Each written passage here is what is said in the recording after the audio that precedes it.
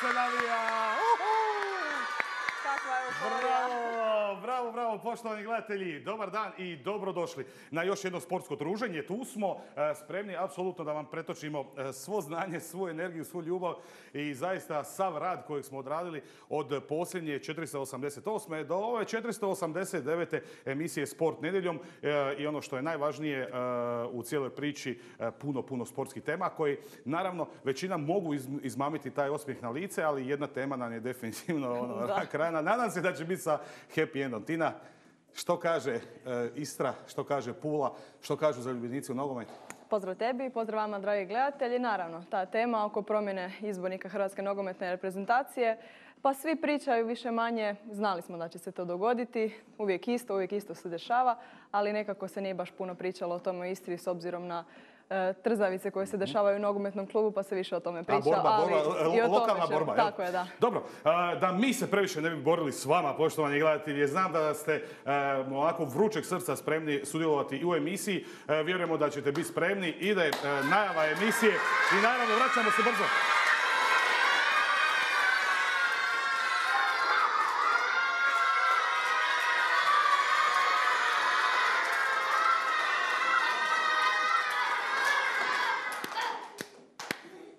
Idemo. Puno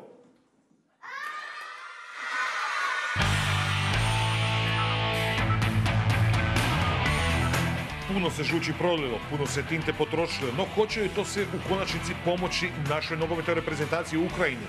Ne izgledamo definitivno dobro, to su činjenice. Imamo sve relevantne aktere, kako na terenu, tako i u studiju. Ivo Šušak, pregršt iskustva, pršti iz tog čovjeka. Mario Tokić, mladi trenerski lav, pomoći će nam približiti stanje oko naše nogometne reprezentacije u oči baraža protiv Ukrajine. Za sport nedjeljom osim toga govore i novi izborni Zlatko Dalić kao i predsjednik HNS-a Davor Šuker. Biće riječi o drugoj Hrvatskoj nogometnoj ligi, a za sport nedjeljom otvoreno o prvim koracima u profi boksu govori Filip Krgović, studijski boksački gosti Leo Pjetraj i Hrvoj Sepp. Biće riječi o veslanju, odbojici, stolom tenisu osoba s invaliditetom, a u košarkaškim minuta ćemo sa Markom Tomasom i Marinom Rozićem, članovima Cibone. Morate biti s nama.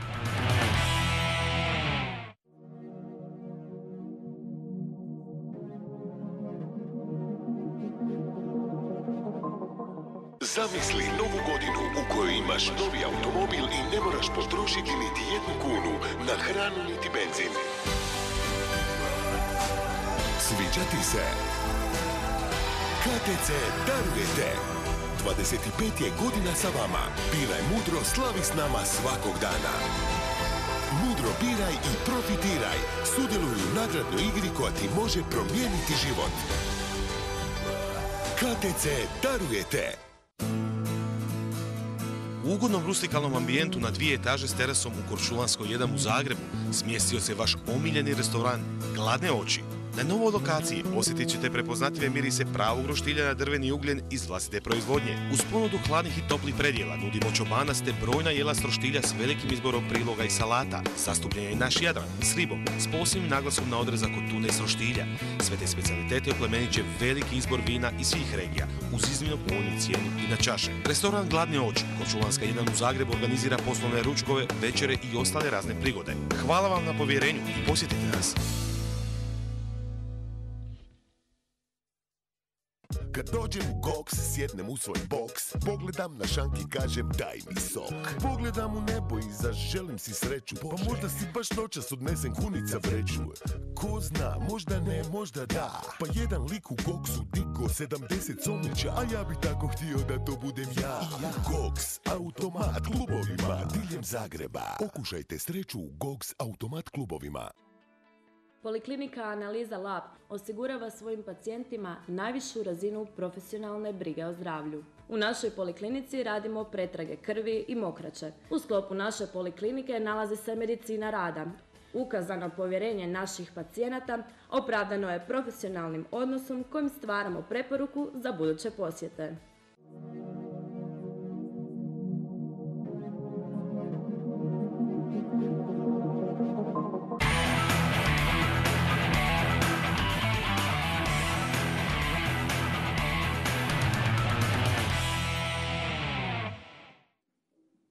Dobrodošli nazad, dragi gledatelji. Evo još jednom u mojim rukama naš partner emisije, sportski tjednik Max, broj 350, a na naslovnici piše Ante u Rusiju sa uskličnikom. Da li bi možda trebalo biti s upitnikom? ne, evo mi te, nema mi te e, e, gatarske e, fore Dobro, e, sad raspravit u, u ovoj pozitivnoj emisiji. Pa zna se da želimo ići u A se, Rusiju i ali- znaš da ćemo tamo biti, znaš da ćeš ti ići tamo i znaš da moraš već čekirati kartu. Obećali smo Joe Šimuniću koji eto više nije u Aha, ja se stručnom nadam, stožeru presudila naravno utakmica protiv Finske. Imamo apsolutno, vjerujte nam na riječ, sjajne teme, sjajne priče i sve najaktualnije. Ali idemo mi najprije predstaviti naše goste. U Hedu ste mogli vidjeti tko su oni. Iskustvo, mladost, spoj, idealan. Dame i gospodo, vjerujem da ćete sad zagrijati, dragi moji prijatelji, dlanove ponovno. U studiju nam ulazi Ivo Šušak i Mario Tokić. Bog Ivo, poštovanje, izvolite. Bog Mario, dobrodošao, dobrodošao, izvolite. Pa, Ivo, možete gore. Bliže, bliže, da, da, da. Joj. E, ovo volim, ovo volim kad se jaka ekipa nađe, odmah se gleda ko će sjest do naše Tine. A Tina? A nisu baš požurili da sjednu ovdje. E, gospodo, hvala lijepa na dolasku i e, ono što je e, apsolutno top tema dana, tjedna, Nadam se da neće biti u top tema u negativnom smislu i godine. to je naša nogometna reprezentacija. Ivo, samo kratko. E, puno iskustva, e, puno e, utakmice u nogama i definitivno možemo li, moramo to konstatirati, ne baš ugodna situacija pred našom nogometnom reprezentacijom. Pa prije svega mislim da izbor koji imamo igrača za našu nacionalnu momčad na neki način budi optimizam s tim da moramo biti e, kvalitetniji u svakom segmentu igre. E, Čini mi se e, što je osnovno povratiti jedan entuzijazam koji čini mi se nije bio naglašen bez obzira što su igrači pokušavali, ali nije bilo onog entuzijazma koji je inače krasio sve naše nacionalne momčadi. Ja se nadam da to sa takvim entuzijazmom uz kvalitetu koju imamo možemo pretočiti u nešto što nas može odvesti u kvalifikacije, no želili bi da, da bude splet okolnosti i možda a, direktno, ali to je, to je teško očekivati. E, ja vjerujem da će e, novi izbornik e, e, uspjet u, u vrlo kratkom vremenu pobuditi kod igrača, ja bih rekao, zanos nacionalni koji je neophodan, a kvalitetu posjedujemo, to je neupitno. Je li Mario ovo što je rekao i tvoj mentor e, e, trenerski i, nogometni Ivo Šušak da je u stvari jedino što je ostalo sad Zlatku Daliću e, taj entuzijazam, elan pobuditi kod, kod naših igrača? Pa točno slažem se sa šefom. E, U svakom slučaju, znači, mi imamo jednu veliku kvalitetu u ovoj reprezentaciji i on u dva dana teško može nešto napraviti što se tiče taktičkih ili nekakvih ekstra drugih stvari i sigurno da trebamo se samo koncentrirati, smiriti jer ova ekipa ima veliku kvalitetu i trebamo izaći na taj teren 11 protiv 11. Junak je junaka, a? Točno, da.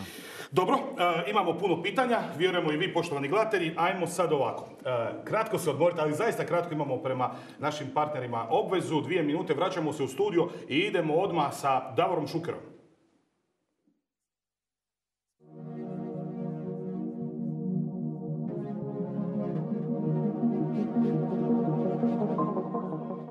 Kad dođem u Gox, sjednem u svoj boks. Pogledam na šanki, kažem daj mi sok. Pogledam u nebo i zaželim si sreću. Pa možda si baš noćas odnesem kunica vreću. Ko zna, možda ne, možda da. Pa jedan lik u Goxu digo 70 somića. A ja bi tako htio da to budem ja. Gox, automat klubovima Diljem Zagreba. Pokušajte sreću u Gox automat klubovima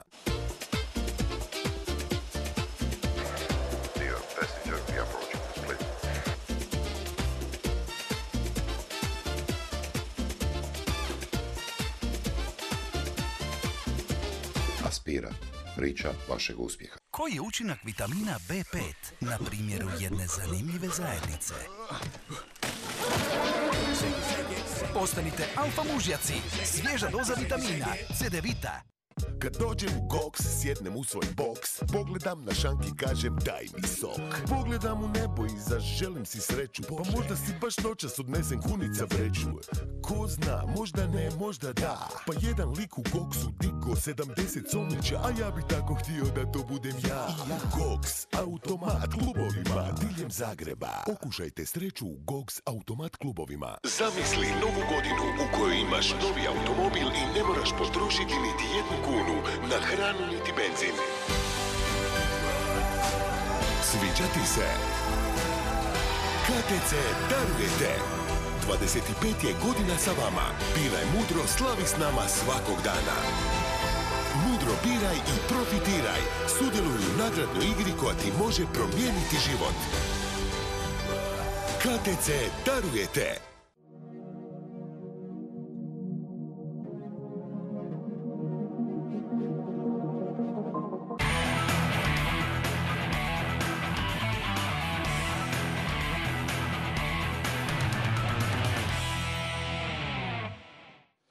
Tu smo, nazad smo poštovani gledatelji kao što smo običali vrlo brzo. Hvala vam što ste svih ovih 12 sezona uz nas, 489. emisija i što ste vašim naravno praćenjem e, sporta nedjeljom učinili da i Hrvatski zbor sportskih novinara za proteklu godinu odlučio da je sport nedjeljom najbolja sportska emisija i hvala našim e, televizijama, partnerima, ima ih deset da ih sad ne nabrajamo, ali lako je nabrojiti dva naša e, studijska gosta, Mario Tokić i Ivo Šušak, dva nogometna trenera i ono što smo rekli, Ivo, vjerojatno ste već čuli i Mario šta je rekao Davor Šuker, ali bi bilo zgodno da zaista e, još jednom čujemo predsjednika Hrvatskog nogometnog saveza koji nam se čini onako e, po prvi puta svjestan situacije, a mislim da je ta situacija e, ta da je i on osjeća da je sukrivac zbog ove situacije.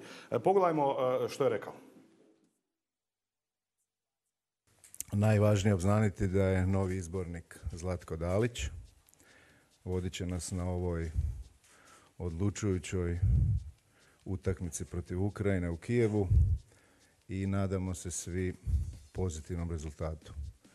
Jednoglasna je odluka izvršnog odbora i ono što je najvažnije da gospodin Dalić rekao da u prvoj sekundi odmah prihvatio čim smo ga nazvali i razgovarali smo s grupom igrača, ostavit ćemo njihovo mišljenje za nas što je bilo na sastanku to su pravi profesionalci i na kraju rezultat je uvijek taj koji vodi, koji, koji dovodi ili koji odvodi izbornika. Vidjeli ste da od Islanda, od utakmice sa Ukrajinom nešto je se desilo. Izanalizirali smo sve, ali ne bi sad ovdje javno sve otvarao. Imat ćemo vremena i za duže razgovore, ali ono što je najvažnije je da damo povjerenje maksimalno, da smo, ponavljam, da smo na drugom mjestu i da imamo opcije da uđemo u playoff. Pa dobro, znate, ako sam rekao da je bila burna noć, da je bilo razmišljanja, vodilja je bila od 12 bodova, uzeli smo četiri. Ono što je mm, najvažnije da, eto, do prije smo bili prvi na ljestvici. Analizirali smo utakmicu protiv Kosova, analizirali smo utakmicu protiv Islanda, analizirali smo utakmicu protiv Turske. Nešto nam fali i baš zbog toga smo nešto i promijenili članovi izvršnog odbora e, su donijeli odluku jednoglasno i Ukrajina možda je favorit na papiru jer igra doma, prednost domaćeg terena, ali vjerujemo naši igrači i vjerujem da će netko eksplodirati i zabiti onaj gol koji nam fali. Ako se vidite da se mučimo i sa autogolovima, da nismo efikasni, svi kao predsjednik Nogometnog saveza također odgovornim za situaciju u kojoj se našla Hrvatska. Na kraju krajeva Nogometni savez je taj koji postavlja izbornike na klubu. Pa uvijek smo odgovorni, uvijek je netko kriv, ali na kraju trebamo završiti kvalifikacije i onda donijeti e, mjere ili odluke koje znate da se i bliže izbori, pa ćemo vidjeti. Imaju skupštinari, ljudi koji, koji će glasati, imaju svoje glasove i na kraju ćemo vidjeti šta je to najvažnije. Ali ponavljam, imamo ovaj šok, šok terapiju koja je utakmica podlazak na put i vjerujem da će nam, da će nam se i sreća malo odsmijehnuti i da ćemo eh, se vratiti u Hrvatsku sa pozitivnim rezultatom.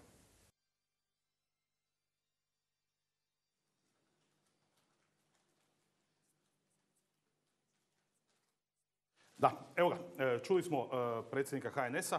E, Ivo, e, poznate Davora, e, zaista je svjestan e, situacije, naravno da je svjestan, ali ono što je možda kudi kamo e, važnije u cijeloj priči.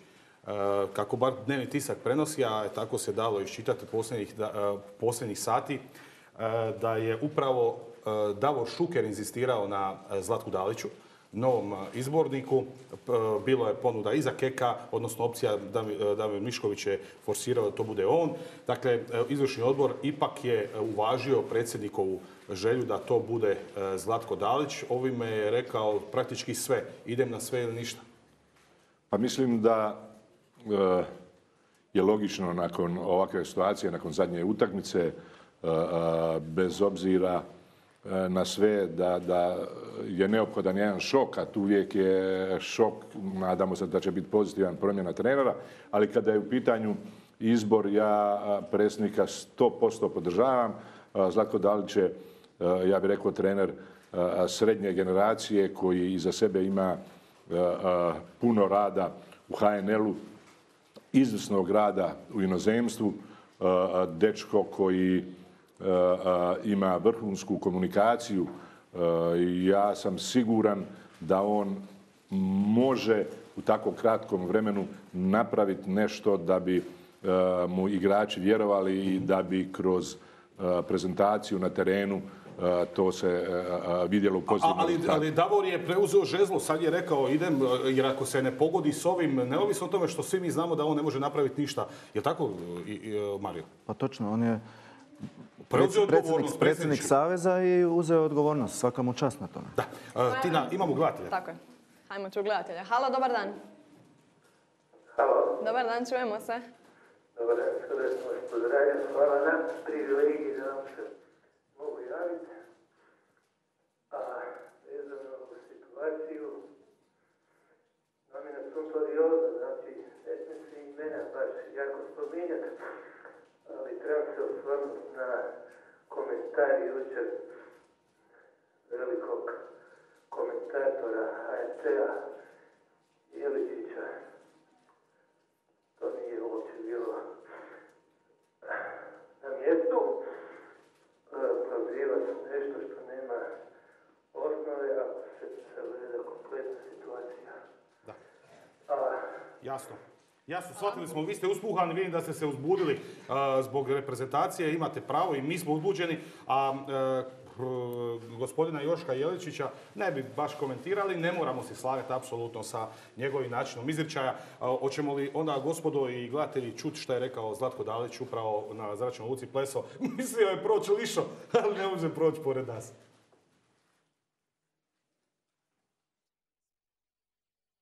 E, Ja sam svjestan situacije koja je predavno, koja je pred nama, ali se ne bojim ničega i spreman sam na sve.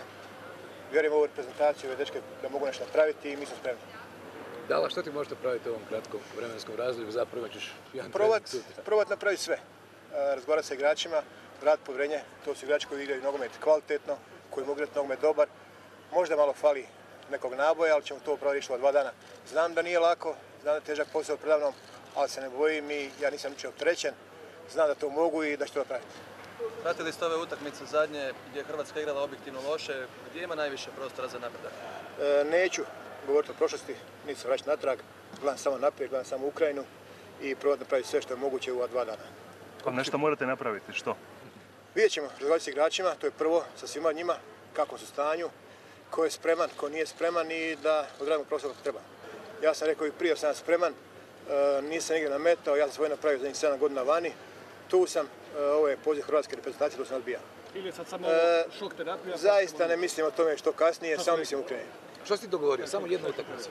Ja sam došao pomognem sad, da odradim posao, da napravim što je moguće bolje. Što će biti kasnije razgovarat ćemo. Nije sad vrijeme da pričamo o nekim drugim stvarima, sad je vrijeme samo za Ukrajinu. Znači u potpunosti ste uvjereni u minimalno play-off. Moram vjerovati, moram vjerovati, tu sam tu. Da nisam vjerovao, ne bi došao tu.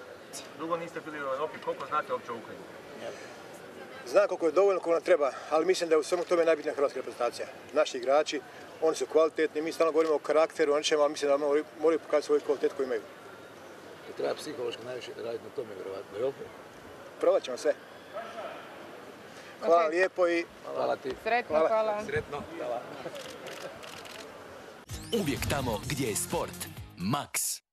Da, evo upravo ovaj detalj koji je vrlo važan, nasmijani Zlatko Dalić, Ivo, e, pun samopouzdanja. E, onaj koji je pratio emisiju Sport nedjeljom negdje tamo e, pred ljeto, kad je bio Zlatko Dalić gost, e, itekako se moglo iščitati nekako njegova želja da preuzme reprezentaciju. Možda nije očekivao da će se to dogoditi sad u par mjeseci, ali tad je već bilo naznaka da on Ajde recimo to tako malo promišlja, a vjerojatno ne bi promišljao da ga neko nije onako ovaj, ko, djevo, ko dečko curi kad se na, ovako nabaci mig pa onda da zna da misli na njega. Pa sama či- činjenica da je uh, izvršni predsjednik Saveza pred uh, desetak dana rekao da postoji plan B, B.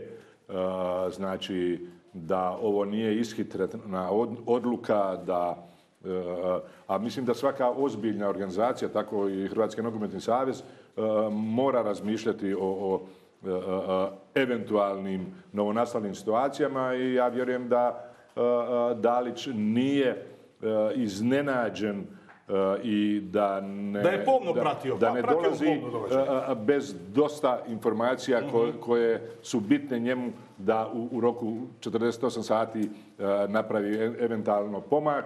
U tomu ja želim stvarno sreću kao da sam na njegovom mjestu.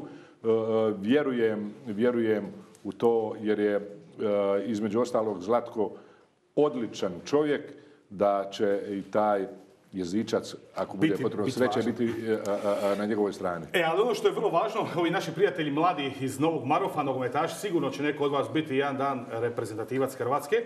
Može nam pljesak dok malo papate, dok papate. S obzirom da su davno naši nogometni reprezentativci kazali da prate sport nedjeljom ako nisu u Hrvatskoj preko putem satelita, ako nas sad gledaju e, pozdrav iz domovine. Mario, e, upravo ono što je gledatelj rekao, kojeg i dalje vas pozivamo, 01 predbroj za Zagreb, 6681 668, 6681 666, brojevi su telefona u režiji. E, mora biti to malo pozitive. Nama spotiču u sportu nedjeljom da ima malo i previše pozitive, da smo možda, možda malo i pre malo kritični po pitanju nečega. U kritici ćemo samo u nastavku, ali sad nam zaista treba jedna unisonost glave na kupu i ne trebaju nam nekakvi komentari poput e, roda ptica i, ispadanja iz raznoraznih automobila. Točno, slažem se s vama. E, Sad u ovom trenutku, znači čak i u trenutku kada ide dobro, pozitiva je stvar koja je neophodna. Sad u ovom trenutku kada mi vidimo da naši reprezentativci, bez obzira što nismo ostvarili pozitivan rezultat, odnosno pobjedu u samom Finskom, vidjeli smo da su oni sve dali od sebe. Nije išlo. Jedna greška nas je kaznila. I to ne znači sad da treba sve srušiti zbog te jedne greške. Idemo, ko što je e, novi izbornik rekao, idemo sada ova dva dana se mobilizirati svi, bez obzira što su oni daleko od nas sad trenutno, ali moraju znati da imaju našu Da- podršku. i, da, I da mislimo na njih. Ti na dva poziva. Zvone telefoni kad se priča o reprezentaciji. Pa to je zbog Halo, dobar dan. tebe. Halo, dobar dan, u programu ste. Dobar dan. Dobar dan. E, pozdravljam goste e, i, i, i Splita zovem. Čestitam bi ovom hrabrom čovjeku što se prihvatio izborničke funkcije, a mislim da, da, da, da- je upao žrvanj. E, nek se samo ti igrači da istrču na teren, svi su oni momaka što su ginili za ovu državu, a, a, a, a uzeti ovu ekipu ovako sa moralom e, ispod nule, a, a, sa ova dva bočna igrača koja imamo nikad lošija u reprezentaciji, u 27 godina reprezentacije, a njihova dva najbolja igrača bočna, Konopljanka i Jarmolenko, mislim da, da, da, da, mu treba digni spomenik ako izvuče pozitivan rezultat. A još bi nešto rekao da je još najtužnije da reprezentacija ni- ne može napuniti ni onom malu Rujevicu. U Zagrebu nije došla dobra reprezentacija. U Splitu reprezentacija dugo godina ne igra. Znači, e, e, da taki je moral igrača, govor tijela naših igrača, govori pogledajte igrače kako znam izlazu e, na teren pa će vam sve biti jasno. A, a u Ukrajini kad izađu oni se situ samo momaka koji su ginili za ovu državu i, i, i, i, i, i, mislim da, da bi gospodinu Šušku i, gospodinu Tokiću kazao a, a, da, da, da, da, da nije kriv ni Čačić ni Dalić, da da su krivi gospodin Gordanović, Šuker i Matić. Dečki e, u studiju su izreagirali na e, ovu, ovaj komentar.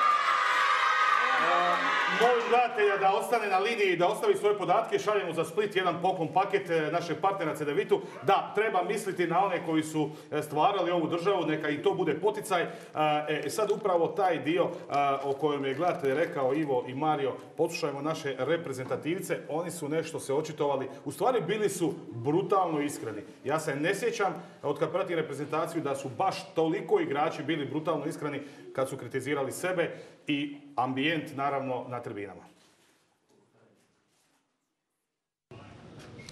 Pesimizam se širi po Hrvatskoj već godinama. E, naravno da je to dobrim dijelom, ako hoćete, utječe na raspoloženje svih nas.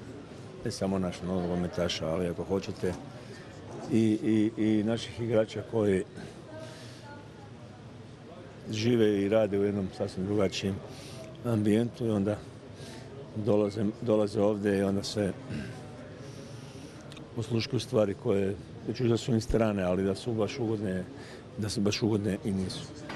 Pa ne, da to kažem, to je jednostavno samo naša krivica. Od nas igrača, niko drugi. E, to ako želite e, kritizirati imate pravo. E, mene kao prvoga. E, to nije dobro, to nismo dobro napravili. Da to kažem, želim i prvi tu, tu se postaviti. ali mislim da smo mi sami sebi najveći problem naše glave. Ne vidim da je, da je neko toliko bolji u ovoj grupi od nas. Jednostavno mi sami sebe pobjeđujemo. Već treći put dobivamo golove u 90. minuti pred kraj utakmice. Zadnje tri utakmice nije dobro i sad ta atmosfera ne krasi nas to zajedništvo i evo i danas zvižduci od navijača. Jednostavno sve se to, ajmo reći, nakupilo. Imali snage, imali snage za taj povratak? On mora je biti jednostavno, ovo je hrvatska reprezentacija i moramo ići na svjetsko prvenstvo i to je cilj i mi to moramo ostvariti i mi smo svjesni toga. Nemamo vremena uopće spuštati glavu doli i razmišljati o ovome što je bilo. Moram reći taj detalj koji sam, koji sam čuo i mislim da je ružno to da, da krećemo u drugo polovreme da, i da jedan dio tribine, mada to je žalosno ako ja to čujem dok igram da, da navijači viču igrajte, igrajte pederi. Mislim da je to, da je to ružno što, što znači da, da nismo svi zajedno, ali podrška s tribina jako je bitna. Ali, ali nije gotovo Luka, igramo, igramo još 90 minuta. Pa naravno, ovaj, e, još imamo 90 minuta. E, Daćemo sigurno maksimum, trebamo se skupiti i pokušati pobijediti u Ukrajini. Ja mislim da mi imamo snagu za to e, i, i pokušati izboriti dodatne kvalifikacije. Ja Vjerujem da ćemo, da ćemo u tome uspjeti koliko god je situacija teška. E, Možda Smjerović večeras izbornika Čečić. pa ne, ne bi sad, mislim da je to bespredmetno sad e, postavljati nije takva pitanja zato što je tu smo na kraju kvalifikacija, mislim da to ne znam da li bi šta donijelo dobro. Kažem, mi ne odlučujemo o tome, igrači, e, ljudi koji vode savez e, će odlučiti šta, šta, je, šta misle šta je najbolje za nas. Nama je primarno da se fokusiramo na teren, da pokušamo dati maksimum, a ko, vodi reprezentaciju, ko vodi savez, na to mi igrači nikad nismo mogli utjecati, niti ćemo moći u budućnosti, tako da nama je najbitnije da dajemo maksimum za reprezentaciju. Mi igramo za hrvatsku nogometnu reprezentaciju, ni za, ni za ovoga, ni za onoga. Evo ga, to su u stvari, e, zašto, je- zašto mi jesmo, moram to tako kazati, malo drugačiji od ostalih, kad govorimo o sportu nedjeljom. Ja evo nisam vidio nije, nigdje ove izjave e, baš pretjerano o Mario e, i Ivo, sasvim svejedno je Mario, evo ti. Nije- Evo nisam nigdje čuo da je Šime Vrsaljko ovo rekao, da je Luka Modrić kazao, što se njega tiče, sasvim svejedno ko vodi reprezentaciju, jer su oni, na neki Rakitić, svjesni da su oni isključivi krivci. Pa naravno, ja isto prvi put vidim ovu izjavu od, od Vrsaljka, ali siguran sam znači, da naši reprezentativci daju sve od sebe. I, I imao sam sreću da sam s nekima igrao i znam kakvi su ljudi, kakve su osobe. I sigurno nije im lako, ali sam ja 100% siguran da će oni sutra pružiti svoj maksimum i da će nas malo i sreća pomaziti jer, jer zaslužuju sreću. Ivo, e, igramo sa Ukrajinom, imamo tri iskustva sa Ukrajincima od 94. pa do 98. pa 2010. Za sad je 2-1 u tim nekakvim, kažemo tako, uspjesima. E, Gledate iz Splita je sjajno kazao o nekim problema našim gdje su bokovi, ali imaju Ukrajinci probleme sa bokovima. Dobili su ovog Brazilca koji je definitivno dao taj onako e, e, špil makerski vic više, pun stadion nas očekuje. Pa meni se čini da to sve treba napaliti naše. Pa mislim da, da e, danas kritizirati e, bilo koju poziciju momčadi e, nije, nije dobro jer e, činjenica je da izjave igrača govore da su oni svjesni e, da su mogli bolje i da su najzaslužniji za ono što je bilo dobro, ali isto tako najveći krivci za ono što nije, nije bilo dobro. Ja vjerujem u to da će dan, sutra svaki pojedinac dati svoj maksimum i treba nam malo sreće da bude 3-1 kad su u pitanju ovaj, odnosi sa. Ukrajinom. Ajmo ovako, pred kraju smo, Mario, a, a, izbornik Čačić. A, jesu li sad nas- na- natpisi tipa on je u stvari bio pogrešao od početka, najbolji potez kad je on u pitanju bila je ova smjena, to su uglavnom ti natpisi. E, Čovjek koji se bavi e, servisom tranzistora, radija i tako dalje, svi ti pogrdni nazivi i tako dalje, i tako dalje. E, Je li on to zaslužio i ima li u krajnjoj liniji on izričitu izključivu odgovornost jer sebe je branio do dugo u noć, tako barem ispada, u krajnjoj liniji kada zna koliko igrača mu zaista nije igralo. Ne branim ga, nego samo pitam, pitam. Nije bilo Kalnića, Lovrena, sad ne nabrajamo dalje, Mandžukić je bio rovit, Brozović rovit i tako dalje i tako dalje. Pa ni u kom slučaju ne treba ga omalovažavati jer e, on je bio izbornik i kad je naša reprezentacija igrala u određenim trenucima dosta dobro. Ali sigurno, znači nažalost je tako u nogometu da trener snosi Najveću najveću odgovornost i, i obično, je, obično se trener mijenja u, to- u tom trenutku. Ali kažem, znači, po meni mi u nekim trenucima, bez obzira što smo imali negativan rezultat ili što nismo pobjedili nekoga, nismo tako loše izgledali. Pa i ovo prvo polovreme protiv Finske, ljudi nam nisu došli do naših 30 metara. A nisu nevjerojatno. Ne, ali šta se dogodilo u tom drugom poluvremenu, to samo vjerojatno oni znaju u glavi. Imamo a, poziv, ja još samo jedan poziv da čujemo gledatelja za kraj, nadamo se da će dati vjetar u leđa reprezentaciji. Halo, Halo, poštovanje. poštovanje. Cijenim vaše goste i vas, vašu emisiju gledam stalno ovoga, ali zašto je tako površno? Za- zašto, zašto ne velite ko je ipak uzrok svemu tome? Recite vi, ako mi griješimo, recite slobodno. Pa očito je Savez i, i u ovom intervju Luka Modrić je napomenuo da Savez vodi, Savez vodi reprezentaciju i postavlja koga treba postavljati.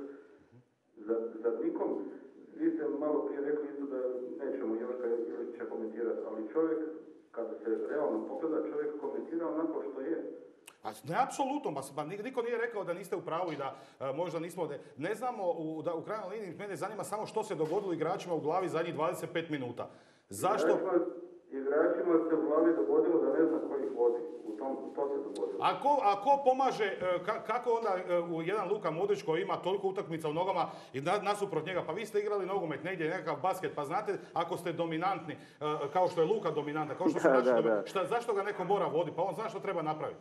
On zna što treba napraviti, ali igra i glava, ne, igra samo tijelo. dobro, jo, Igra i glava. Je, je, je, I ako, se. I ako on ne zna komu je gazda, onda je tu problem. Pa ja mislim da oni jako dobro znaju šta je gazda, ko, ko- je gazda. Da li je Ante Da. Čačić bio ta renome, E, o pa tome to- možemo razgovarati, apsolutno. Tako je, tako je, to se ja bojim da oni znaju ko im je gazda, da. Da.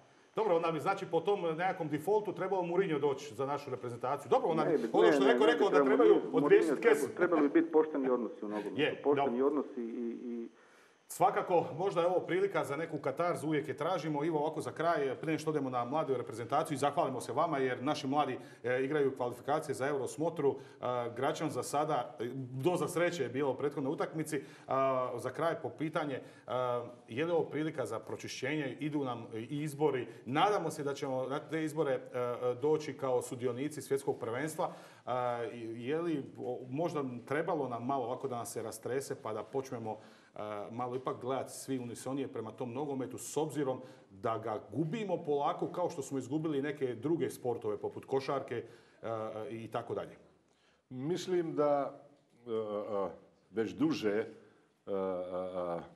medijski pristup koji je na neki način iniciran od dijela politike ni podištava uopće hrvatski sport, a ja tu vidim hrvatsku nogometnu reprezentaciju kao glavni brend i na neki način htjeli ili ne htjeli mediji to prenose i to ne stvara nekakvu pozitivnu klimu. To je ono što je, to je, ono što je rekao da, a mi nismo nacija od 50 milijuna stanovnika, mi smo nacija od 4,5 milijuna i kad fali dva, tri igrača, niko neće o tome pričati.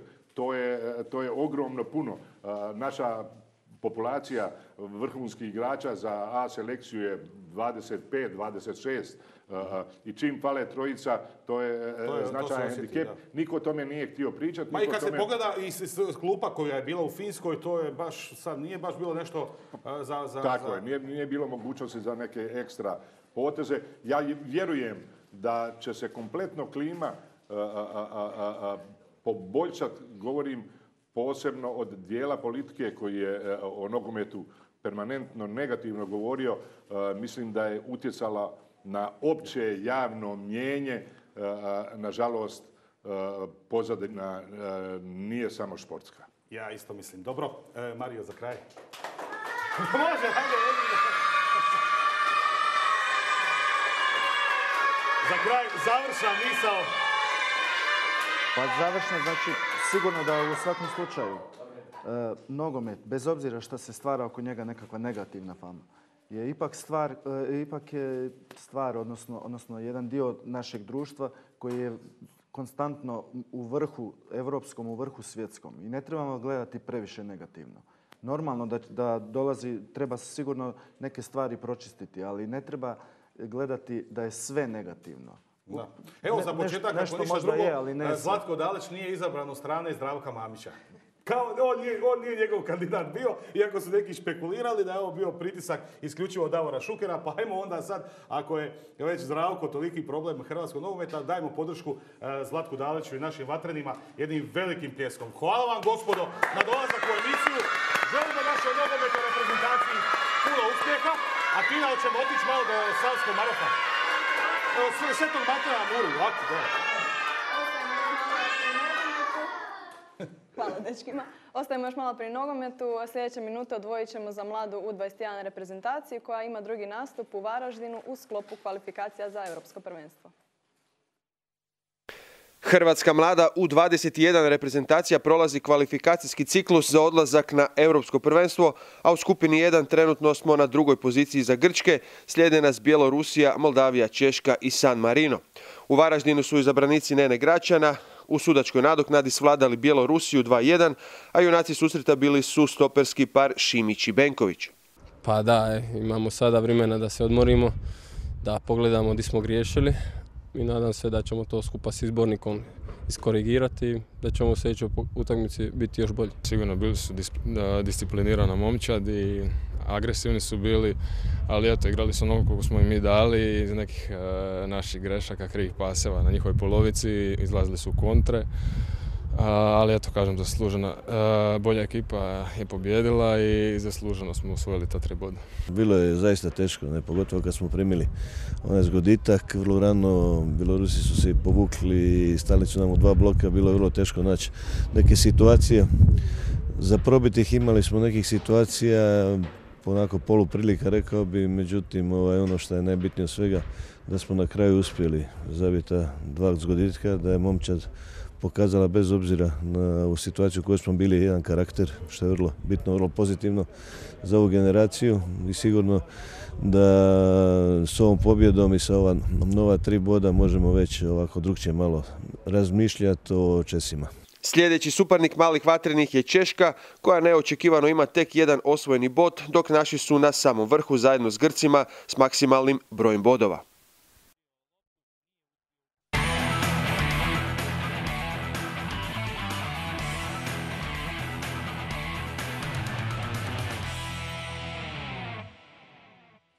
Odigrano je deseto kolo druge Hrvatske nogometne lige. Rezultati Lučko Sesvete 2-0, Velika Gorica Kustošija 1-0, Solin Hajduk 1-0, Dugopolje Varaždin 1-1, Novi Grad Šibenik 1-2 i Hrvatski Dragovoljac Dinamo 2 0-0. A idemo sad do Lučkog vidjeti ta dva gola.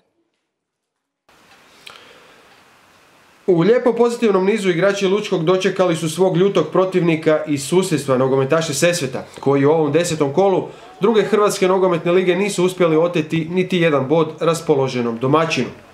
Sve je krenulo pozitivno po Lučko već u desetoj minuti susreta, kada je porbijen lijevi bok Sesveta, a na krasan ubačaj Josip Serdarušić još ljepše posprema loptu glavom pokraj nemoćnog Filipovića. Igrala se 41. minuta kada Matoš pronalazi Serdarušića koji ulazi skroz do gol crte. Vraća povratnu loptu Matošu, on pa gađa gol Filipovića koji odbija ravno na nogu Borne Petrovića za povećanje vodstva Lučkog na 2-0.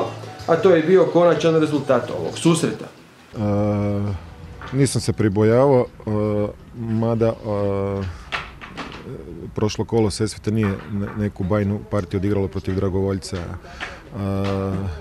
vjerojatno ih je to ponukalo i zato su, bili su danas dobri, ali mi smo e, bili bolji za ta dva gola.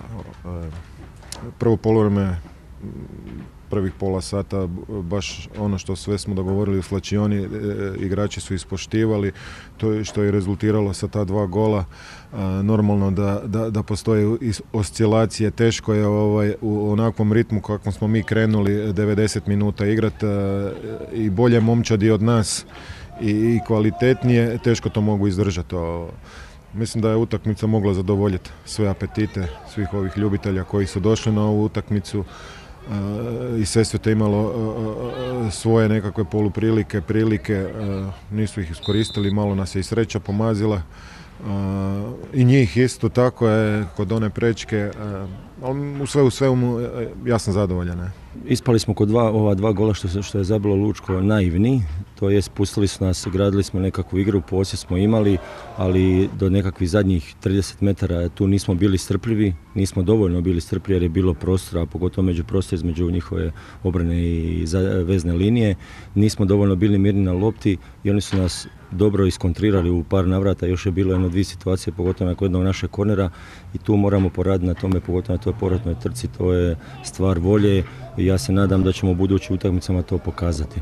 Drugo po vrijeme dogovorili smo se da izađemo, da krenemo još e, riskantnije. E, nažalost, da, moram reći za prvo po vrijeme da e, prekretnica za mene je šansa Topića.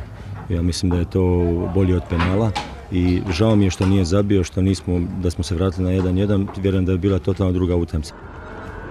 Portal sportnedjeljom.hr Saznajte na vrijeme sve uz vaš sportski džoker sportnedjeljom.hr U ovom desetom kolu druge Hrvatske nogometne lige pratili smo vodeću Goricu u susretu protiv Kustošije, inače posljednje momčadi ovog natjecanja.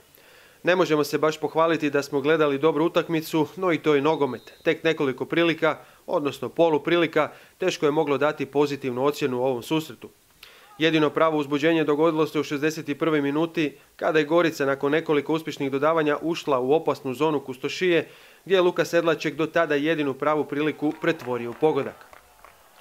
U tom trenutku crveno-crni kao da su se malo trgnuli i stvaraju sami sebe izglednu priliku za preokret. Novragolović je pucao preko gola s nekih 7 metara, a san o barem bodu Kustošije ostaće za neke druge prilike. Gorica je zasluženo slavila te zadržala vodeću poziciju. Nije realno da ćemo mi svaku utakmicu prezentirati neki spektakularan i oko lijep nogomet. E, znali smo da nas čeka e, danas iznimno zahtjevna utakmica iz razloga što e, siguran sam da je Kustušija momčad koja je debelo podcijenjena, odnosno momčad koja ima debelo manje bodova na tablici nego što je to realno. E, izuzetno organizirana, disciplinirana ekipa koja se diže iz kola u kolo i siguran sam da će se situacija i kod njih e, u budućnosti mijenjati. Nama je to utakmica došla u trenutku gdje smo imali u tri tjedna seriju utakmicu, seriju utakmice svaka dva do tri dana i očekivao sam da će u jednom trenutku se desiti e, određeni pad i radi psihološkog i, radi fizičkog zasićenja kod igrača, tako da nam je ova utakmica danas bila ono iznimno, iznimno bitna i, i očekivano kažem zahtjevna i e, sa ovom pobjedom momčad je samo još jednom pokazala koliko je zapravo karakterno e, jaka i da u trenucima kad, kad ne briljiramo izvlačimo, izvlačimo maksimum i na kraju nas to i nagradi. da li možemo reći da se na ovakvim utakmicama osvaja prvenstvo? Ma, e, da, naravno, e, ali sigurno su ovo utakmice, e, nema velikih i malih utakmica, nego je svaka utakmica za sebe i svaka utakmica donosi tri boda, bod ili, ili nula bodova i s te strane je svaka utakmica zapravo jednaka. Ovo su utakmice koje je najteže igrati zato što psihologija govori ako igraš protiv momčadi koja je možda tablično lošije plasirana, bit će nešto lakše što je totalno krivo i zbog toga se kad pobjediš ovakve utakmice definitivno može reći da su one te koje na kraju donose neku razliku. Činjenica da smo danas bili poprilično konkurentni. Nisam vidio neku razliku u ideji u igri, nisam vidio neku razliku da je neki sustav se nametno da, da, da, da mi to nismo mogli pratiti. Ono što je presudilo utakmicu je upravo ovo što ste rekli, a to je individualna kvaliteta, iskustvo drugoligaškog, višegodišnje iskustvo drugoligaškog, pa tamo na neki način i proligaškog igranja i to je definitivno usmjerilo utakmicu. Oni su nas kaznili iz naše idiotarije na sredini sa 30, na 30 metara. Imali smo i mi priliku kazniti njih, no međutim nismo.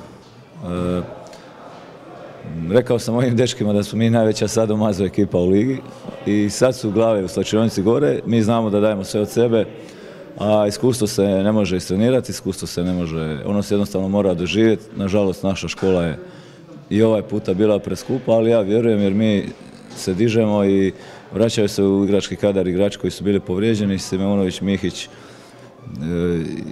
Horvat, koji danas uopće nije igrao, tako da vidim prostor i ja vjerujem da ćemo mi vrlo brzo prvu pobjedu kad, kad, kad napravimo, znam da će biti ne, sigurno se, bit će serija sigurno. Evo.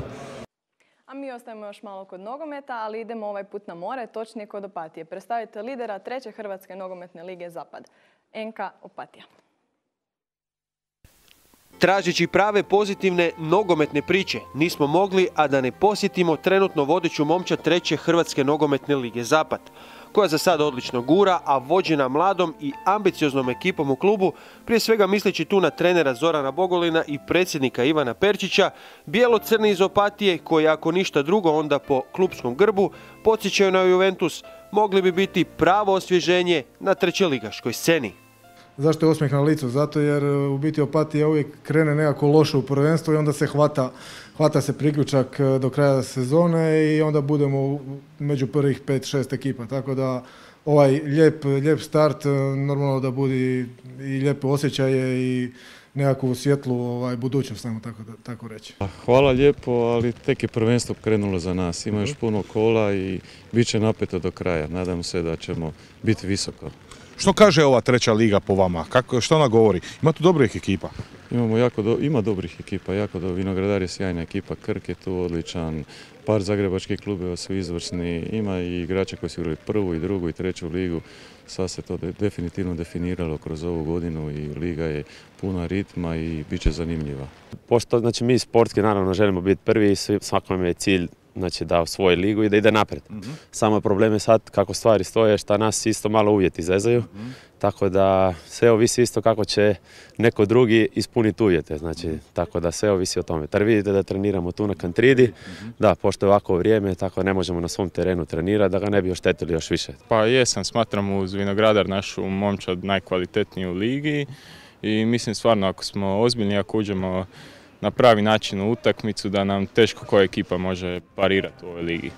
Osnovan davne 1911. nogometni klub Opatija uvijek je bio stabilan trećeligaš ili tu negdje se vrtilo.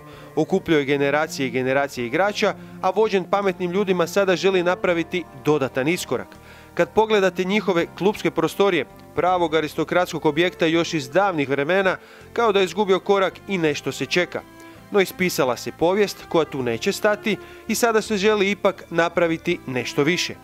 Novi bolji stadion s pratićim objektima. Pa vjerujem da smeta, smeta sigurno sportašima jer e, svaki grad, svako mjesto volio bi imati neki respektabilni objekt gdje bi se moglo trenirati. Znači tu ne govorim samo o nogometu, tu govorim i o ostalim sportašima koji bi mogli koristiti taj objekt. Nažalost ovdje u Pati ovo igralište je 70. godina napravljeno i od tada su bila neka ulaganja, ali više manje to sve minimalno i u zadnjih 15 godina nogomet je otišao u takvom pravcu da jednostavno ne, ne može trpiti e, minimalna, minimalna ulaganja. Znači ono što nažalost bi ovdje nama mi trenutno nemamo, a trebalo bi nam, to je sigurno osvjetljenje i neko pomoćno igralište koje bi bilo malo veće, ali kažem, nismo mi ni nerealni i znamo da su to velika, velika izdavanja i da jednostavno nije to jednostavno niti gradu izdvojiti, no smatram isto tako da smo dosta velik pogon i da ima dosta zainteresiranih ljudi u i oko kluba i da smo zaslužili da dobijemo barem nešto, ako ne sve odmah. Da, nadamo se i mi da će se gradonačelnik Opatije pridružiti sportašima, nogometašima, podržati ovaj projekat jer sve je već spremno. Papiri su čisti, samo se čeka da se podigne palac gore.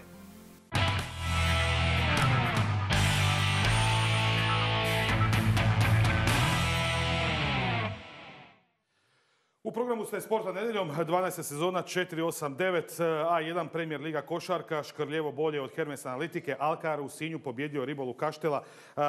Što se tiče Vaterpolo dvoboj Mladost Budva 13-7, e, hokejaši Medveščaka demolirali Kac, svaka čast, iako nije baš to tako izgledalo da će biti u tom planu, ali idemo mi sada sa sportom koji je u ovom tjednu na neki način Tina dao do znanja da će se puno stvari lijepoga događati. Filip Hrgović najavio svoj, odnosno već je odradio, ali najavio, vjerujemo, dugogodišnji profesionalni hod. Da bi malo to prokomentirali, a uskoro će nam i Hrvoje Sep u profesionalni ring, doveli smo upravo dva sjajna gosta. Dame i gospodo, u studiju ulazi Hrvoje Sep i trener Leonard Petraj! Bravo prijatelju, dobro došao, dobro došao prijatelju, prijatelju, dobro to, to, to, to, to.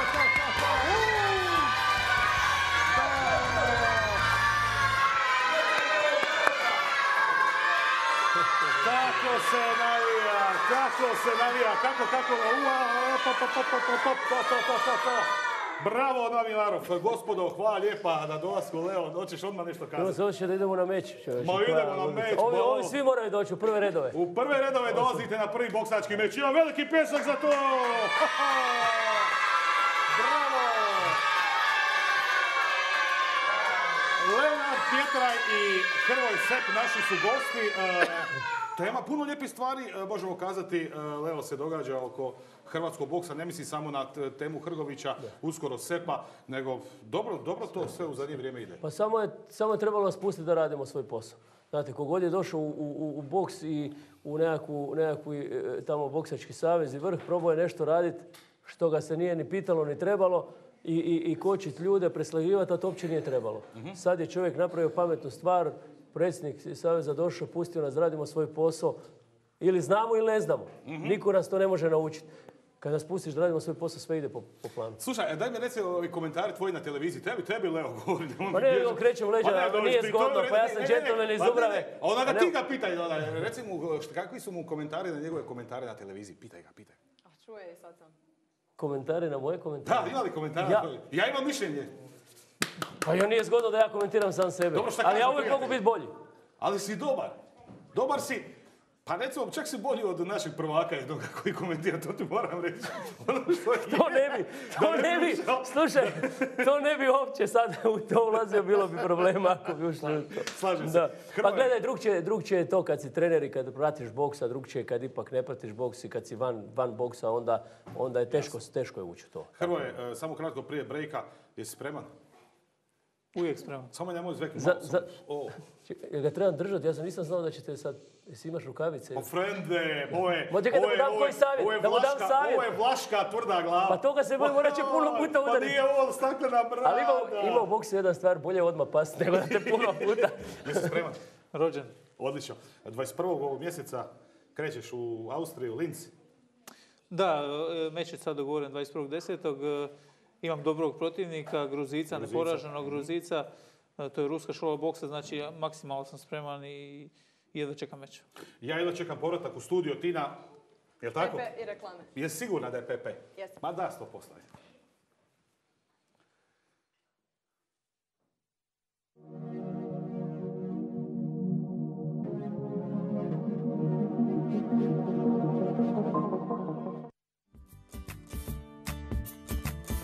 Restoran Marino Zvono je jedinstveno mjesto za odmor od svakodnevice, poslovni ili obiteljski ručak, proslave ili druženja, s raznovrsnom ponudom jela i vina, ugodnom ozračju i domaćinskom gostoljubivom atmosferom.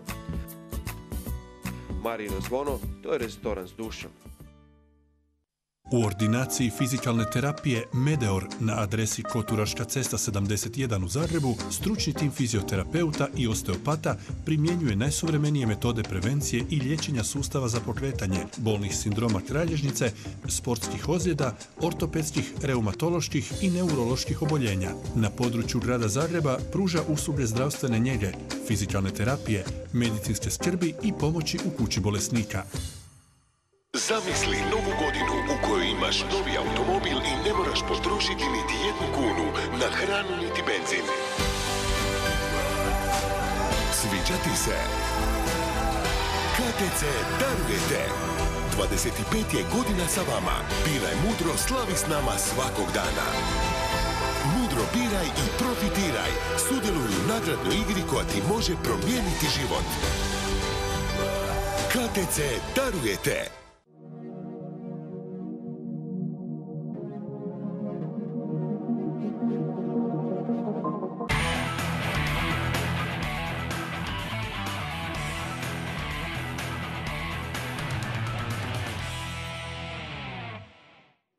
Evo nas u programu se Sporta nedeljom, poštovani gledatelji. E, Zaista mi je gušt za ovaj razgovor imati jer e, nekako u ovih 12 godina e, koliko ide emisija pokušali smo dati svim sportskim sadržajima prilično e, dosta prostora.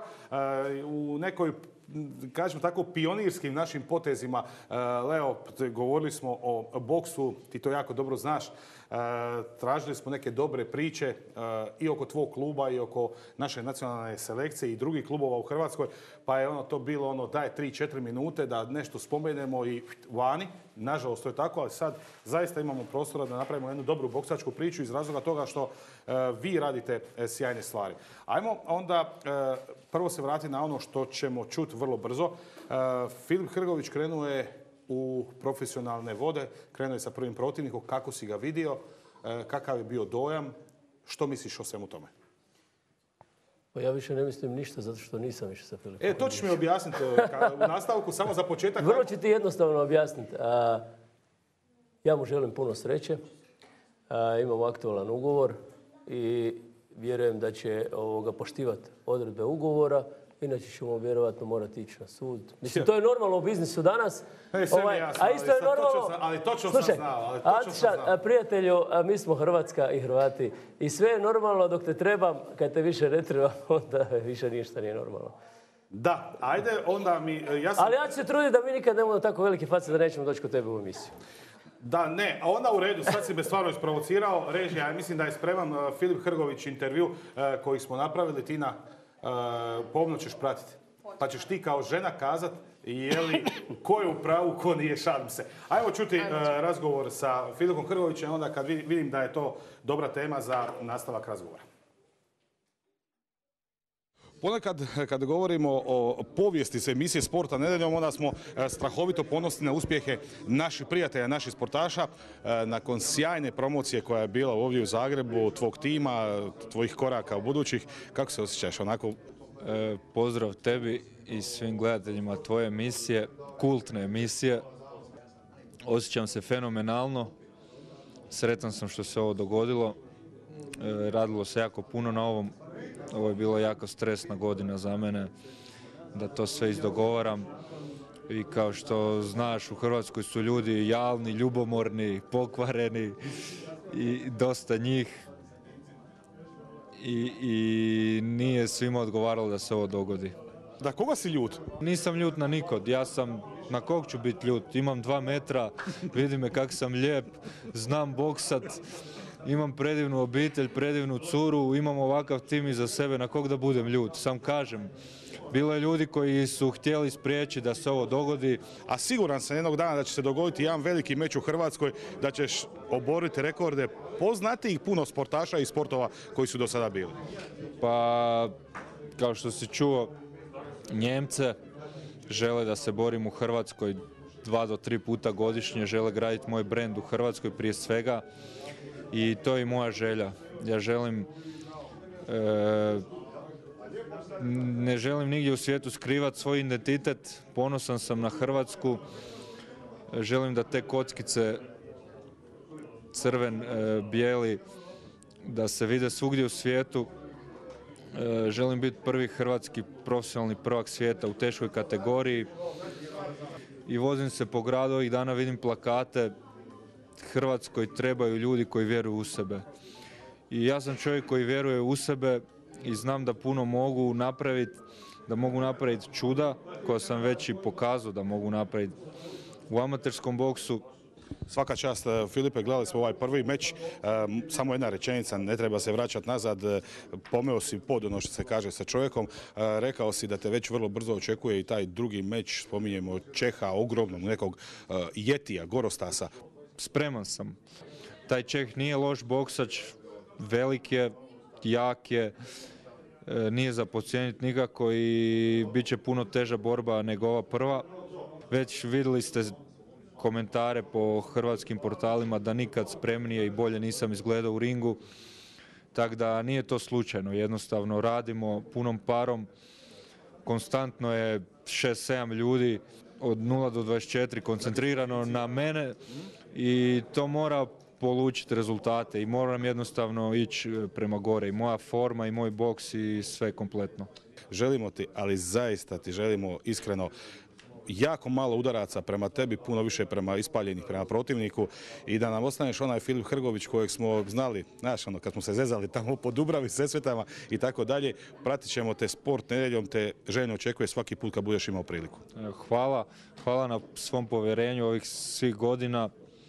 Znam da voliš nogomet, ali znam da voliš i boks i bio si tu kad nije nikog bilo na samim početcima i ja obećavam da ću dati sve od sebe. Znam da će biti jako dugačko i teško putovanje. Ko što kažeš, među velikim dečkima sam, među ozbiljnim dečkima, ali ja sam velik dečko. I najbitnije je da ostanem Filip, to što si spomenuo iz Sesveta, iz Dubrave i da ostanem na zemlji. To je najveći uspjeh i Pozdrav svim gledateljima Z1 televizije i emisije Sport nedjeljom. Pratite više boks, manje nogomet i to je to. hvala lijepa. Evo ga, e sad vas gospodo čekam, ne Hrvoja naravno, nego tebe Leo dragi. Uvijek sam, uvijek Ja sam došao na ovu pres konferenciju, odnosno na druženje, dogovoreno je bilo da ćemo možda čak i zvat Hrvoja, bože Hrvoja, Filipa u emisiju. I onda sam mislio da bi bilo zgodno malo da se svi troje povežemo u toj priči. I ja veze nisam imao da vi, mislim, znači do kog trenutka... Slavo, pratiš Ka, ne, ne, ne, ne, nije, pa dobro, prijatelj, pa vi ste, jer ja sam došao, u, u, u, prvo sam zakasnio sam u esplanadu, već je kolega Turković bio tamo s kamerom, ja ulazim i ja tražim tebe. Ja tebe ne vidim. Meni prva zna, prvo pitanje je bilo gdje je Leo. Leo, kad se ovo sve izdogađalo u odnosima? Vidi da ti kažem prvo, da ti kažem za Filipa. Taj momak ima potencijala da bude jedan od najboljih boksača uz, i uz Matu Parlova i jedan od najboljih boksača u svijetu. To je momak koji je tu kod tri kubanca nokautom, što nijedan u povijesti se boksač ne može pohvaliti. Niti bivšeg Sovjetskog saveza, niti u Sjedinjenih američkih država, niti niko. Znači on ima strašan potencijal ja mu želim puno sreće. pa to se već duže, duže vrijeme on, ovaj,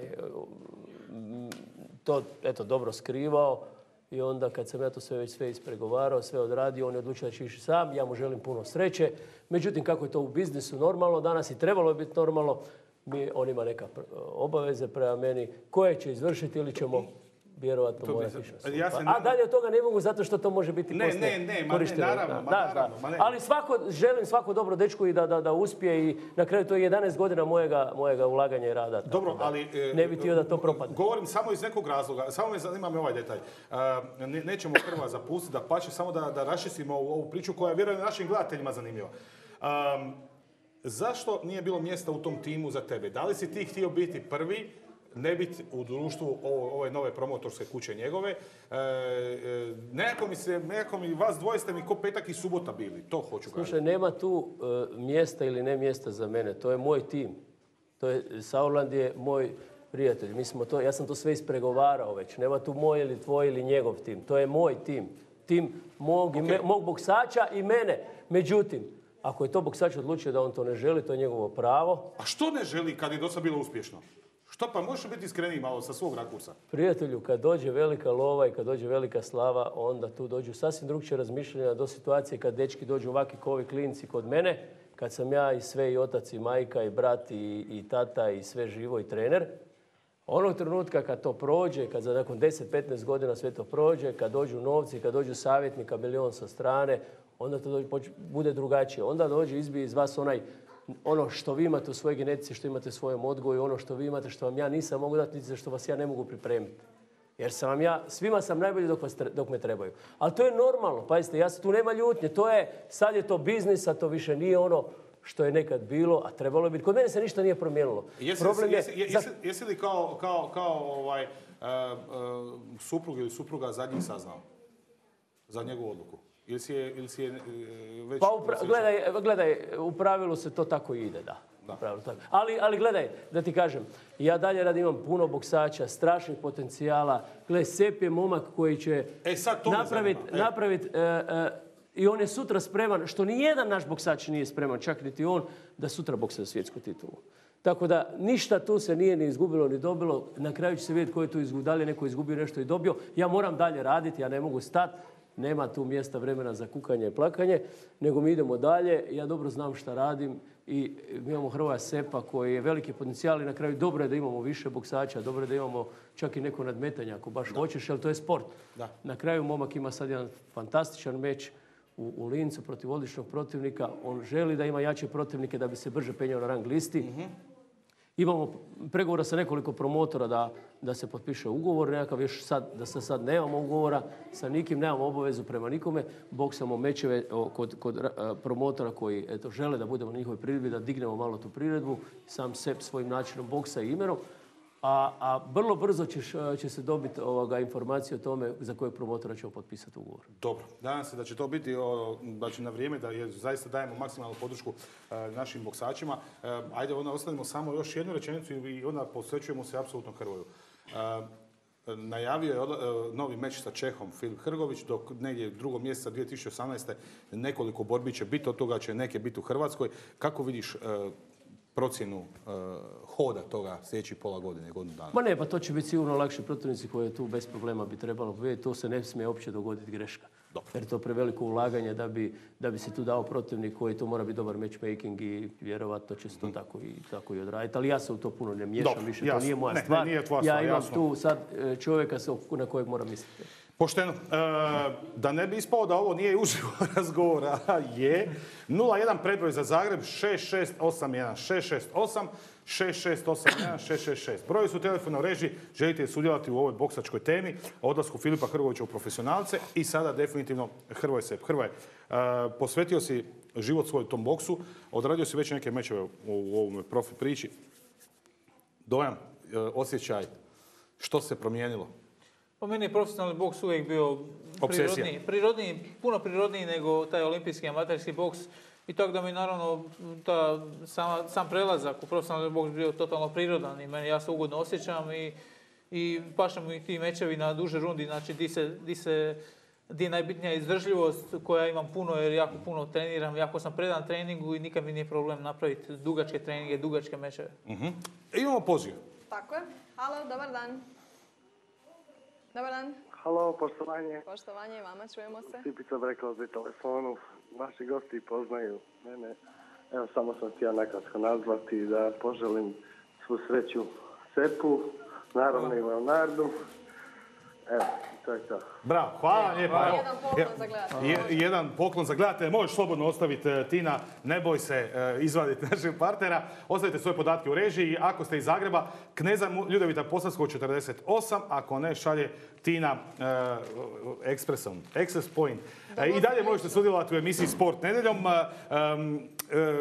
o- rekao si Leo, da za Hrvoja je po tvojoj procjeni bolje da odmah ide s najjačima, da nema ovo što si rekao nekakav hod. e, Pa ne, vidi, ne možete dobiti odmah najjače. Vi morate e, se penjati na rang listi, ali... a, a, s- Govorimo o poluteškoj kategoriji. Da, da, ali, ali vi možete izabrati ovdje i puno jače protivnike koje je teško dobiti, jer znaju, e, pazite, u profi boksu jedan, dva meča može biti kraj karijere u toj početnoj fazi. Zato e, se boksači baš ne odlučuju rado za Hrvoja Sepa, jer ga znaju. Prošli puta u prvom meču smo promijenili pet protivnika u nekih e, dva, tri tjedna. Da, da bi uopće došli do prilike da, da, da imamo meč, jer se moglo dogoditi čak da protivnik ne dođe. Sada je čovjek pristao koji je nadobudan i koji misli da se tu može nositi, to mi je drago. Da li će se nešto dogoditi, imamo još dva tjedna do meča. E, ja bi volio da... on- Šest rundi se tuku. Šest rundi se tuku, mi ćemo već idući meč tražiti na osam rundi, ali kažem, e, sve to puno košta što je više rundi i protivnici se teže prihvaćaju što Sep ide dalje, što ga više vide kako boksa u profi boksu ne, ne žele boksati sa njim. To je problem. Filip Hrgović je e, često u svoj... Može, može,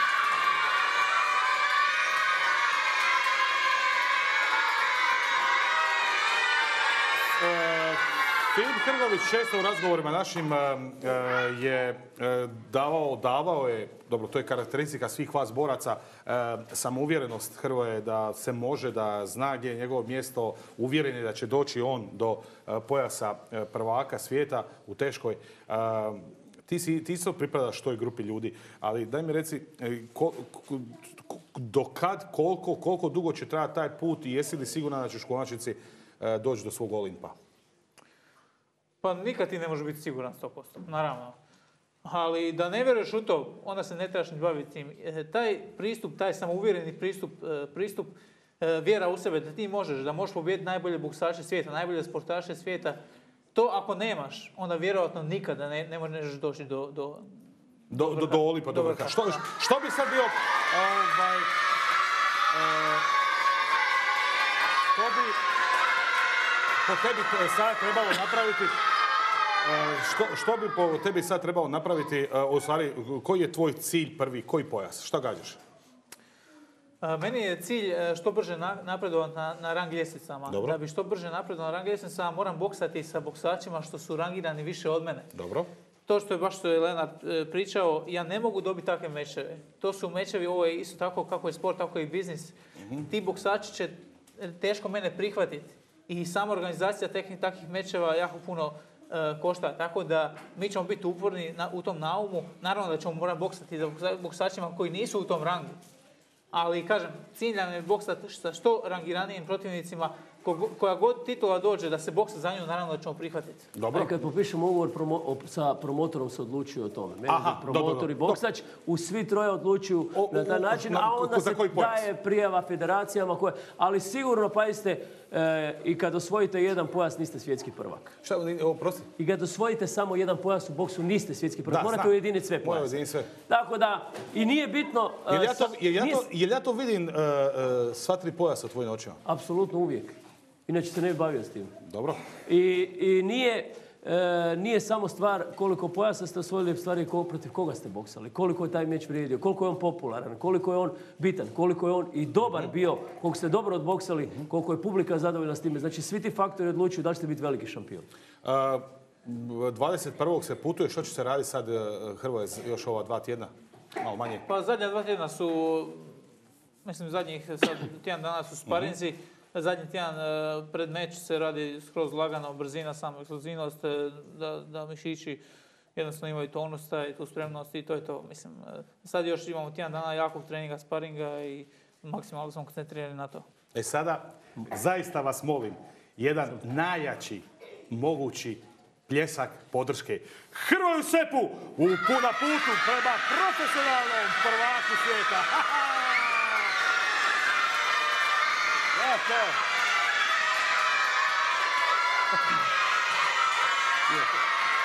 Bravo! Samo, da, Recimo. samo kratko, e, e, Hrvoje, da ne zaboravi se, e, zahvaliti se svojim sparing partnerima bez kojih ne bi bilo ništa. To su momci koji dolaze i koji daju jako puno da bi se mogao pripremiti jedan sportaš. Ja moram spomenuti sam te dečke.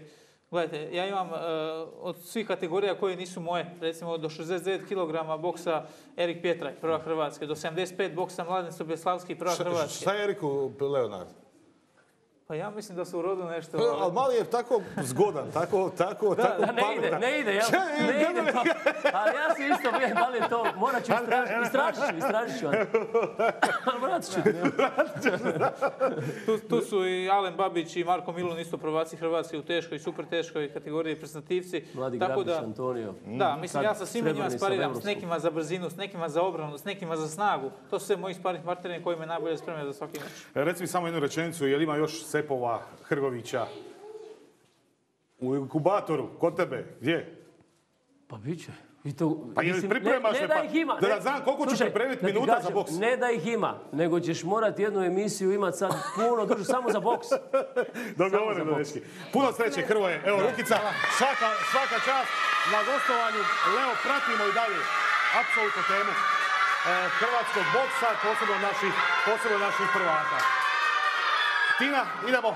Idemo sad malo do košarke. Jedan ležeran razgovor vodio je naš Ante sa kapetanom Cibone Marinom Rozićem i našim reprezentativcem Markom Tomasom. Ajmo poslušati. U 12. sezone emisije Sport nedeljom vidjeli ste, furiozno smo krenuli sa hrvatskom košarkom, kako reprezentativnom, e, tako i klubskom. Marin Rozić, kako smo ono rekli, Francesco Totti, e, Cibonim e, ruka. Junače, kako si? Dobro, lijepi pozdrav gledateljima. E, što ima novo u Ciboni? Pa ima dosta stvari novi, jel? Dakle, evo, da krenemo nekakvog, nekakve glave, jel? Dakle, došao nam je novi trener, Slobodan Subotić Piksi, svi ga znamo, kogod prati košarku zna šta je taj čovjek prošao i kao igrač, isto tako šta je napravio kao trener, tako da definitivno jedna garancija određene kvalitete. Jel? Što se tiče igračkog kadra, tu je bilo određenih promjena, međutim jedan gro ekipe ipak je zadržan. Došli su nam dva Amerikanca koja ja vjerujem da su kvalitetni, da će se na kraju ispostaviti da je to prava stvar. Odličan potez je definitivno bio zadržavanje Luke Žorića, našeg reprezentativca. Isto tako doveli smo Tomasa na otvoren ugovor. Bilo bi fantastično da on ostane do kraja sezone, međutim, nova smo ekipa, treba će još vremena da to sve zajedno sjedne na svoje mjesto, međutim, vjerujem da ćemo biti jedan ozbiljan kolektiv i biti u borbi što se tiče ABA lige za, polufinale, dakle završnicu, a što se tiče, prvenstva Hrvatske i kupa, mi kao Cibona ne možemo sebi ništa drugo dopustiti nego za borbu za trofeje. Ja osobno sebi kao kapetan ne mogu dopustiti, neću nikad priznat da, da, mi ne pretendiramo na, mjesto dakle, prvaka u Hrvatskoj, isto tako osvajanje kupa, bez obzira što je možda viša kvalitete na strani naših suparnika. Međutim, mi idemo, mi idemo na prvo mjesto. A bolja je Cedevita, pa daj priznaj šta. A šta je problem priznat da je bolja Cedevita? Dobro pitanje, retoričko pitanje. Dobro, pratio si Cedevitu, dosta snažno, dobro izgledaju. Naravno, odlično, mislim, oni su doveli vrhunskog trenera, isto tako odlične Amerikance, popunili su to jako dobro, te pozicije, imaju po dva kvalitetna igrača, prački na svakoj poziciji, za sad djeluju dobro, međutim i mi ne djelujemo loše, tako da polako, na kraju se mrtvi voli, što škri, kaže. škripe li koljena? škrip, škrip, škrip. Pa dobro, dobro, to je u redu što se tiče. Malo, malo treba podmazati tu i tamo, međutim imamo našu fizioterapeutsku službu, tako da bit će to u redu. Bili imao možda ovako odmah u glavu pitanje išta protiv da ostaneš u Ciboni? Pa, volio bi ja ostati, ali sad, za sada su okolnosti malo drugačije, ali idemo dan za danom, tu sam, do sad život ide dalje. E, Smijemo li u budućnosti nekakvoj vrlo skoroj očekivati nekakvu revolucionarnu rečenicu od Darija Šarića, od možda Ace Petrovića kad se otvori? Je li si sve bilo onako kao što je trebalo biti na Europskom prvenstvu? Ha, teško je sad, e, te- teško je tu biti pametan. Ovaj, mislim da je igrački, igračke strane, trenerske napravljeno je maksimum što se moglo u tom trenutku, jest da, da smo odigrali jako loše tu najbitniju utakmicu, ali e, mislim da koliko god su možda mediji previše e, tražili su prerano heroje, tako su i dosta e, mogu, reći, ha, nije bezobrazna, ali, ali ni- nisam daleko od toga na, na, na jedan okrutan način su se svalili na, na igrače i na trenere. Smije li Hrvatska uopće u sljedećih nekoliko godina govoriti da imamo reprezentativce ili kadar za napast odličje na bilo kojem natjecanju? Pa ne, dok se to ne dogodi prvi put. Sad, kad će to biti, to niko ne zna. Ovaj. Znači, mi nemamo igrača koji je došao na, na Final Four. Osim Roka koji je imao nekakvu, recimo, ne bih rekao sporednu ulogu, ali u drugom planu. u drugom planu prije 12-13 godina, znači nikad niko nije došao na Final Four. Jedna Rusija ima igrače koji 7-8 godina već igraju Final Four. Da sad spominjemo Švede, Mozgova koji su recimo kao nekakva klasa iznad ovih koji e, svake godine igraju e, u CSKA, u Kimkiju koji znaju kako osvajati velike trofeje, tako da s te strane treba biti oprezan i ne davati takve bombastične izjave. Marko, hvala ti. Hvala.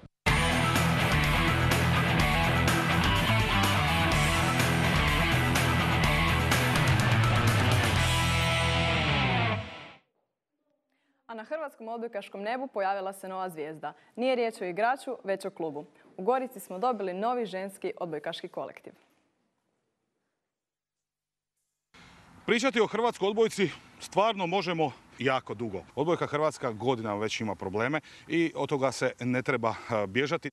Kad govorimo o Hrvatskoj, bilo muškoj ili ženskoj odbojci, onda uglavnom govorimo jedan klub je bio dobar, poput Rijeke, pa je nestao. Govorimo o ženskoj odbojci. Pa tako govorimo o ženskoj odbojci kad je u pitanju i Vukovar. Naravno, svijetle točke su muškarci i dečki iz Kaštela, ali fali mladost, fali ako ćemo o ženskoj odbojci govoriti i Azena. E sad, kad govorimo o gradu Velikoj Gorici, onda definitivno morate znati da je to jedan od najvećih gradova u Hrvatskoj koji apsolutno ima privilegiju, ili je barem imao za vrijeme obitelji Azenić, da je mogao kazati imamo top razinu e, ženske odbojke. Nje već godinama nema. Sport nedjeljom je našao pravu priču. Pazite ovo, europski prvak. Trenirati sa europskim prvakom, dakle osobom koja je bila europski prvak, dakle za svako dijete, za svaku osobu koja se želi baviti ovim plemenitim sportom, mora biti poseban ugođaj. Krenuli ste kao škola odbojke i sad vidim postajete Hrvatski odbojkaški klub Gorica. To znači puno više djece, to znači puno više obaveza. E, Djecu morate uvjeriti.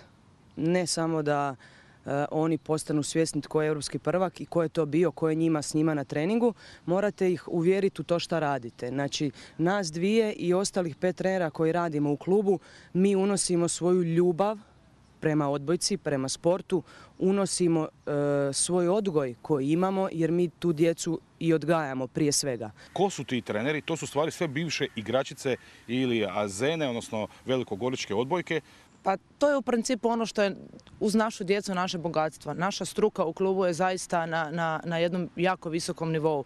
Mi imamo sedam trenera koji su mahom sve stručnjaci znači u, u svom polju na kojem rade, uz Dijanu koja je tu igrački definitivno bila broj jedan. Obično je kad igrači iz jednog kluba idu u drugi klub da imaju problema, gospodin Božić, predsjednik Kazene, digao je prst gore i daje vama maksimalnu potporu, što je nevjerojatno, nevjerojatno ono, očigledno i on na neki način prepoznao da radite, hajde recimo tako bolje. Stvar je u tome samo što mi ne ulazimo u njegovo. E, nije on izašao u susret nama u klubu. On je podupirao tu djecu da djeca idu tamo gdje žele. Da, dobili ste prst gore od struktura gradonačelnika Barišića, gospodina Kolarca, e, pomozite mi Kovačića, jel tako, E, u, u, u gradu Gorici, jel ta podrška ide na još jednu veću razinu i gdje djeca mogu se pojaviti? Ja se nadam da će grad od, od iduće kalendarske godine, kao što to već ide, poduprat e, i financijski, dakle, naš e, klub. E, apsolutno najjednostavnije, naši plakati se nalaze da, na našoj Facebook stranici, e, na našem webu, e, brojevi mobitela stoje, slobodno se mogu javiti ili Dijani, meni, poslat poruku pa ćemo iskomunicirati na koji način. Što se tiče lokacija treninga, mi zaista možemo reći da smo u Gorici u, u gotovo svim školama. Pozivamo sve, dođite, probajte, mi nećemo garantirati da je odbojka za sve, ali svi bi trebali doći probati.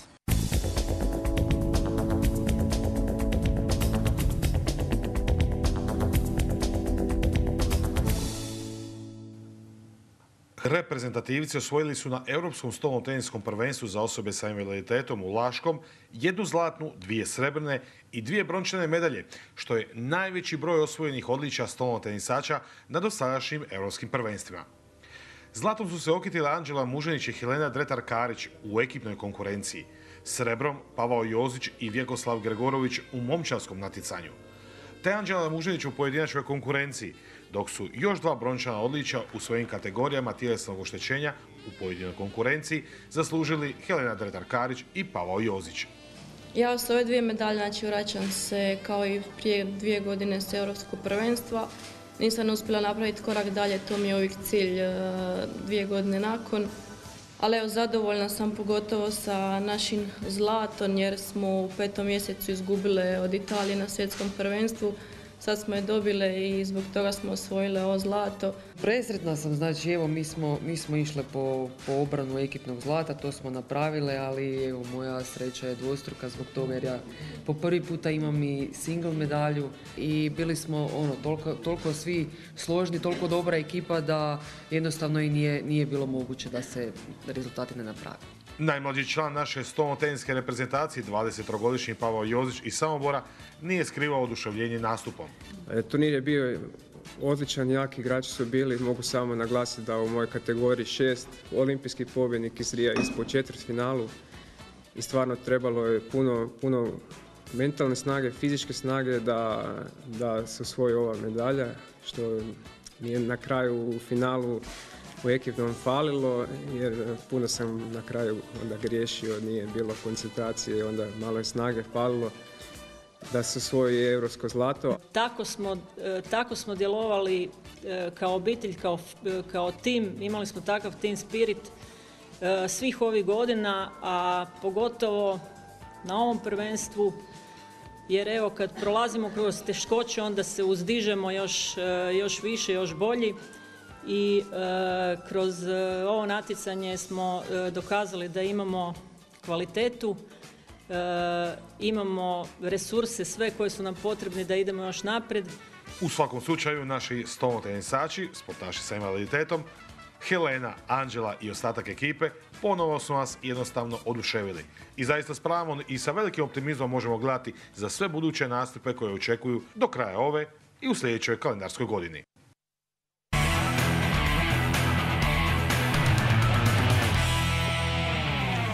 Zlatko Dalić novi je izbornik Hrvatske nogometne reprezentacije. Nakon što je Davor Šuker na izvanrednoj konferenciji potvrdio smjenu sada već bivšeg Ante Čačića, samo 48 sati prije odlučujuće utakmice Dalić će voditi vatrene protiv Ukrajine. Hrvatska mlada U21 reprezentacija u Varaždinu je bila bolja od vršnjaka iz Bjelorusije 2-1.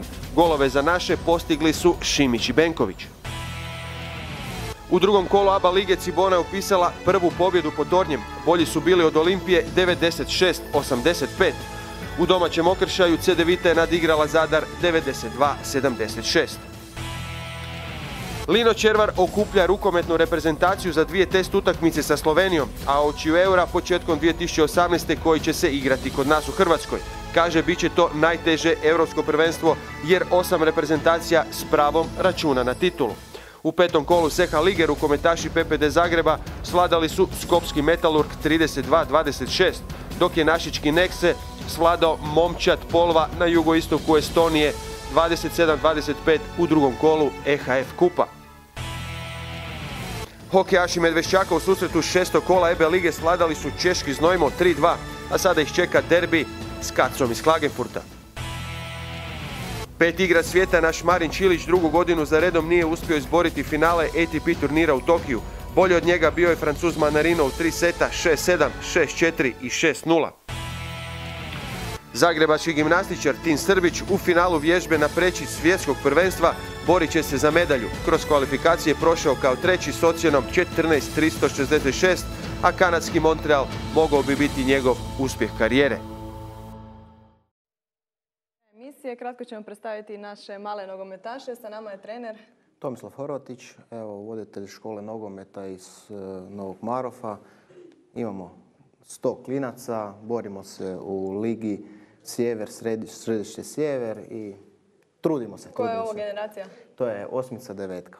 Dečki su dobri, poslušni, slušaju. Odlični su. Evo, vidjeli ste i danas kako fino navijaju. Vidjeli smo. I e, vam fali e, momaka u klubu, gdje se mogu prijaviti? Kod nas u klubu utorak i četvrtak možemo u šest sati nek dođe. Svaki je dobrodošao. Odlično. E, znači, svaki utorak četvrtak, ako naginjete malo prema Savskom Marofu, odnosno Novom Marofu, dođite u klub, imate novog predsjednika Ivana Horvata. Ivan Horvat, evo, nastojimo nešto sad malo podići taj nivo organizacije i naravno i igra na viši nivo. Biće tako, vidimo se, poštovani gledatelji. Evo, s ovim došli do kraja. Srdačno vas pozdravljamo za tjedan dana u isto vrijeme, na istom mjestu, Sport nedjeljom TV. Lijep pozdrav!